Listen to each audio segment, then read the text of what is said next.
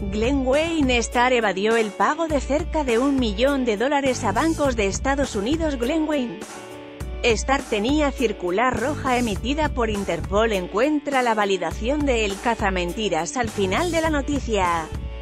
13 de mayo del 2018, 2 y 16 de la tarde.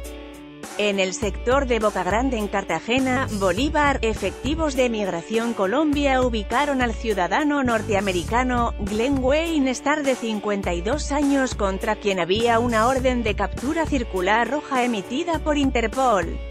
En Estados Unidos se le adelanta un proceso por estafa al dejar de cumplir el pago de 950 mil dólares a un banco. Star residía en Barranquilla, y según confirmó Migración Colombia estaba desde el 2015 en Colombia de manera irregular, fue detenido gracias a una alerta emitida por los sistemas de seguridad de Migración Colombia, que lo ubicaban en el sector de Boca Grande, en Ciudad Heroica, se lee en un comunicado emitido por la autoridad migratoria.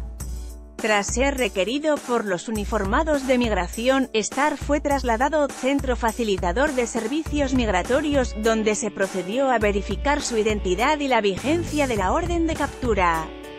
El extranjero quedó a disposición de la policía para legalizar la captura.